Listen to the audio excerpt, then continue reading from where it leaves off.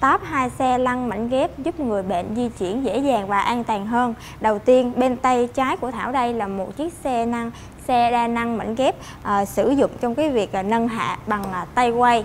Còn bên tay phải của Thảo đây là một cái xe đa năng mảnh ghép à, khi mà chúng ta muốn à, nâng hạ cái chiều cao thì chúng ta sẽ sử dụng một cái việc đạp đích tông ha.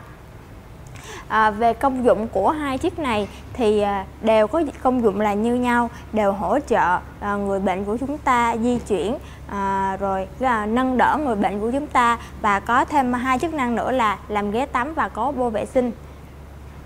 À, về điểm à, giống nhau của hai chiếc xe đa năng này thì à, về ngoại hình chung thì à, nhìn là tương đối là giống nhau. À, về chất liệu thì được à, đều được làm bằng à, thép sơn à, tĩnh điện và cái vòng tựa lưng thì được làm bằng nhựa ABS cho nên là rất là bền và chắc chắn. Về thành tay thì được thiết kế là như nhau. Hệ thống bánh xe thì bốn bánh là như nhau di chuyển linh hoạt. Bô và à, những cái thiết kế thì à, nhìn chung là giống nhau về khác nhau, thì bên cái xe dùng tay quay này thì chúng ta sẽ nâng hạ cái người à, bệnh của chúng ta bằng cái việc là sử dụng tay quay. Chúng ta sẽ à, quay. Còn à, bên bích tông thì chúng ta sẽ nâng hạ cái người sử dụng bằng cái việc đạp bích tông. Chúng ta sẽ đạp.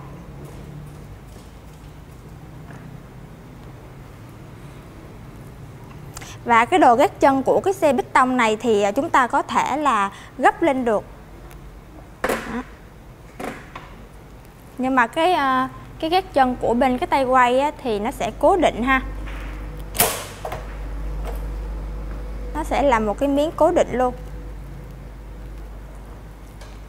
Về cái xích beo thì à, bên cái xe đa năng tay quay á, thì chúng ta sẽ sử dụng cái xích beo bằng cái đai an toàn à, sẽ phù hợp cho những người mà với thể trạng là còn khỏe hơn và những người mà chúng ta có người bệnh của chúng ta có thể là à, ôm người bệnh của chúng ta từ phía trước vào trong cái à, xe đa năng này hoặc là chúng ta có thể là sử dụng mảnh ghép. Còn cái xe bích tông này thì à, cái việc đai an toàn á, thì sẽ làm bằng một cái thanh trắng ngang phía trước.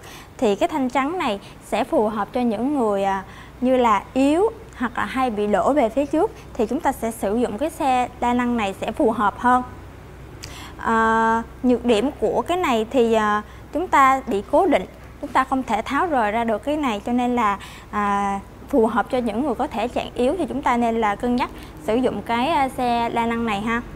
Về chiều cao của à, hai cái xe lăn đa năng này thì cái xe lăn đa năng này cái chiều cao thấp nhất là 3, 38 cm và cao nhất là tầm à, 56 cm ha. Còn à, cái xe đạp bích tông này thì cái chiều cao thấp nhất là 44 cm và cao nhất là 59 cm. Về độ rộng, độ rộng tối thiểu của nhà của chúng ta cái cửa cửa nhà hoặc là cái cửa phòng vệ sinh của chúng ta phải tầm từ 60 cm trở lên thì à, mới có thể là đưa hai cái chiếc xe lăn đa năng này vào.